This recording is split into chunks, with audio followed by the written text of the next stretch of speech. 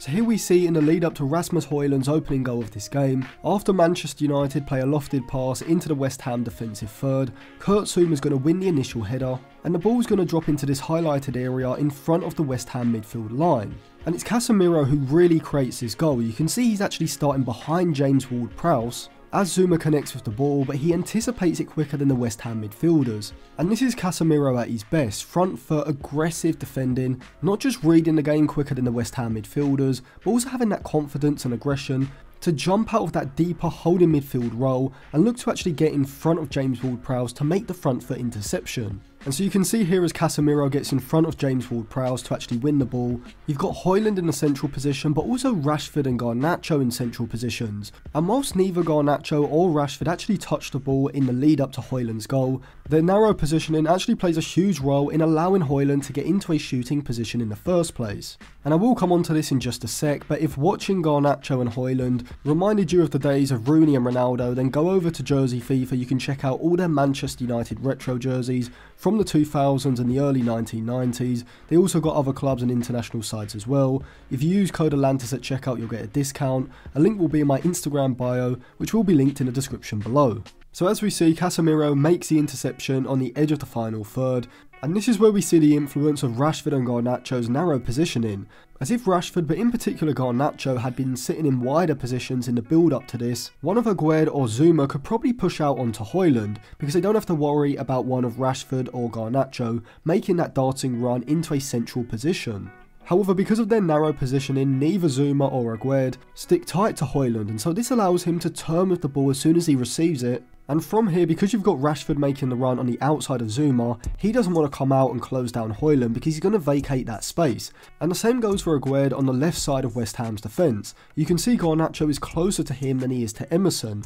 and so the Moroccan centre-back is reluctant to move out initially to close down Højlund, choosing instead to hold that central position and stopping that run from Garnacho straight through the middle. And this split second where Aguerd holds a deeper position allows Højlund to shape as though he's going to shoot on his left foot. And so when Aguerd actually does step out of the back line to close down Højlund, Højlund sells him the dummy, dragging the ball back across his body onto his right foot, and the fact that on his right foot he can rifle one like this into the bottom corner shows that Højlund is evolving his game and he's got a variety of different finishes in his locker. And so this of course makes his game even more unpredictable. If he was solely going on his left foot, and like Antony had a pretty non-existent right foot, then this goal just doesn't come about because even if he gets into the shooting position, he wouldn't have the ability to do what he did with his right foot, putting the ball in the bottom corner and making it 1-0 to United. And so whilst Casemiro has to take all the plaudits for actually creating this goal, I think Ten Hag's use of both Garnacho and Rashford in these high and narrow positions has to be seen as at least an indirect contribution to this goal.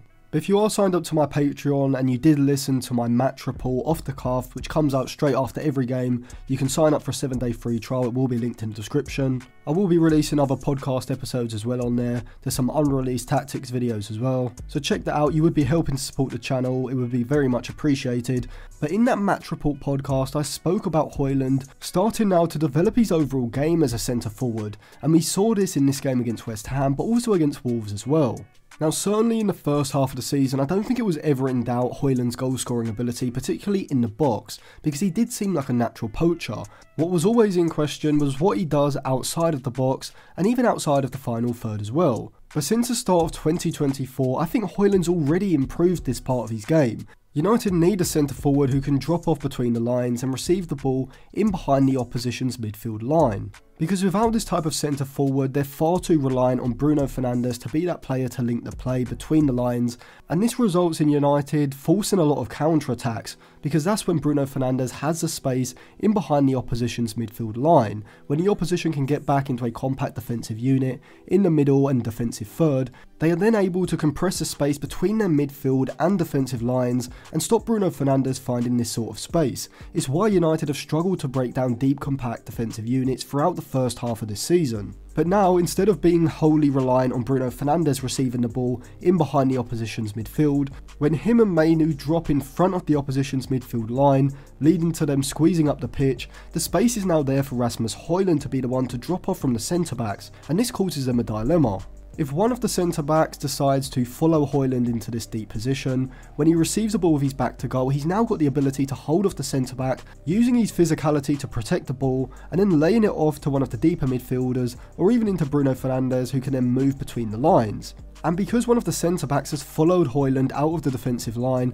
this then creates space in the opposition's back line for one of the deeper midfielders, or maybe even someone like Garnacho or Rashford, to make penetrating runs into, and if Højlund can lay the ball off to Bruno Fernandes or Casemiro, a through ball could release Garnacho into a 1v1 position. Alternatively, if the centre backs do what West Ham's centre backs did a lot in this game, where they instead decide to hold their positions in the back line, not vacating that space for United's runners, this then gives Højlund time to receive the ball, turn, and drive the play forward. And he has been incredibly effective at linking the play but also driving the ball into the final third, and I thought specifically in the game against Wolves he did this incredibly well. Here we see around the 10th minute against Wolves that United are using that 3-2 build-up shape, with Dalot and Mainoo playing as a double pivot, Casemiro's dropped into the back line to create the wide back three, giving Ten Hag's side that wide base to then allow them to circulate the ball around Wolves' front line. But I don't just want to talk about Højlund here, also keep an eye on Dalot and Toti,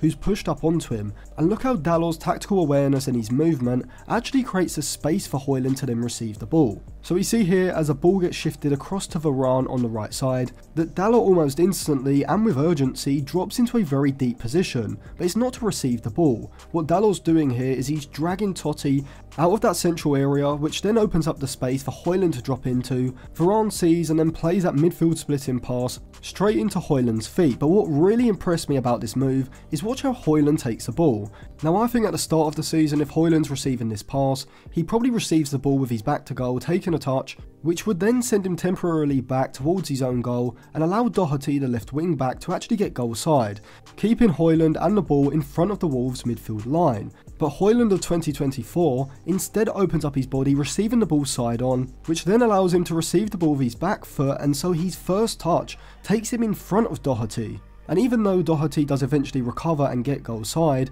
he has to drop back to cover Garnacho's run, but because Højlund initially opened up his body, he's now actually on the edge of the Wolves' defensive third and can drive forward with it, before then laying the ball off to Mainoo, Mainoo plays a pass into Bruno Fernandes, and now United have gone from having the ball in front of the whole Wolves' defensive shape, to being able to progress the ball into Højlund in the middle third via Dalot's movement, dragging Toti out of that space, and now from Højlund to Mainoo into Bruno Fernandes, United now have the ball in the final third in a matter of just a few passes. And we saw a similar sort of thing happen against West Ham. Here Maguire has the ball on the edge of the middle third, and you can see Kudus is cutting the passing lane into Dalot in the centre, whilst James Ward-Prowse is sitting close to Varane, and so all of Maguire's short passing options centrally are being cut off by West Ham's positioning. However, despite the initial pass into Dalot being cut off, Maguire's still going to work the ball into his feet, but he's going to do it through Højlund, and so he drives forward with the ball into the middle third, and then plays a midfield splitting pass into Højlund who probably could turn with the ball in this situation,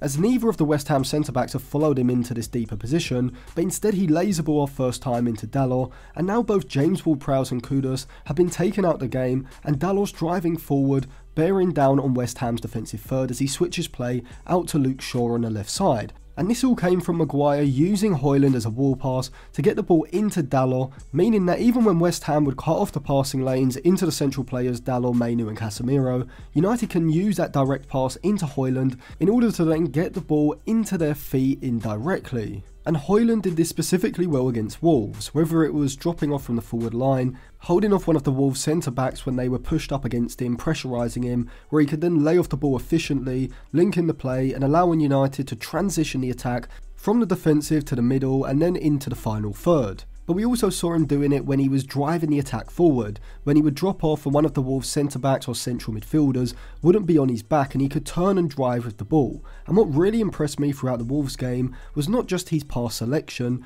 but his timing and weight of pass as well, which I thought was phenomenal. And this was exactly why Ten Hag brought in Wout Weghorst last season, because despite the Dutchman being, let's be real, pretty much below average in most parts of his game, what he was very good at was dropping off and linking the play efficiently with his back to goal. And Højlund is now developing this ability, and this is fundamental to Ten Hag's attack, as it allows the play to be linked quickly, where from United can then move the ball into the likes of Fernandes and Rashford in behind the opposition's midfield, pushing the attack into the final third, which ultimately is going to help them create more chances, because they're moving the ball through the middle third a lot quicker, rather than just moving the ball from side to side and allowing the opposition to get back in a compact defensive unit. But in the game against West Ham, we also saw United using Højlund to link the attack in a far more direct way as well. Here we see that Onana has possession and he's being pressurised, and now he probably could play this pass into Casemiro, because West Ham's double pivot of Alvarez and Soucek aren't actually tight to Casemiro in this instance. And so if Onana had played the pass into Casemiro, he could probably just turn out and carry the ball out of the defensive third,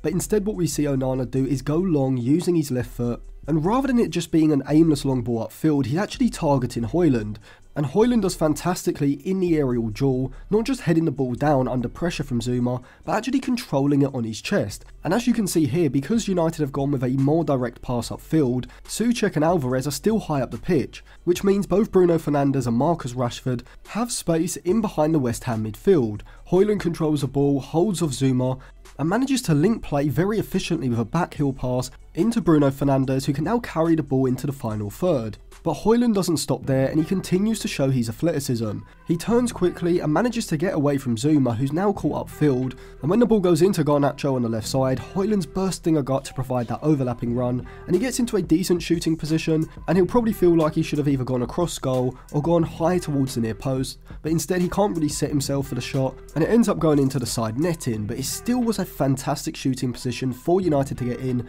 going all the way from the defensive third into Højlund in the middle third and and then progressing the ball in the final third, using a more direct means than simply a pass along the floor. And whilst this more direct play probably isn't the best option against sides like West Ham who are going to sit off quite passively, against sides who are going to squeeze up the pitch and look to press United aggressively in their defensive third, rather than always looking to build out under this pressure, United can instead take advantage of the space between the opposition's defensive and midfield lines by keeping the front three of Garnacho, Rashford and Højlund in high positions, pinning the opposition's backline backwards on the halfway line, which will give Bruno Fernandes maximum space between the lines because the opposition's midfield will push up in order to press United in the defensive third. And this is where having a ball playing keeper like Andre Onana can really be utilised as he's essentially a free man even if the opposition look to man to man press United. And so he can get the ball out of his feet, play a long ball into Højlund, and as we saw from these examples, Højlund's got the ability to win those aerial duels whether he's heading the ball down into Bruno Fernandes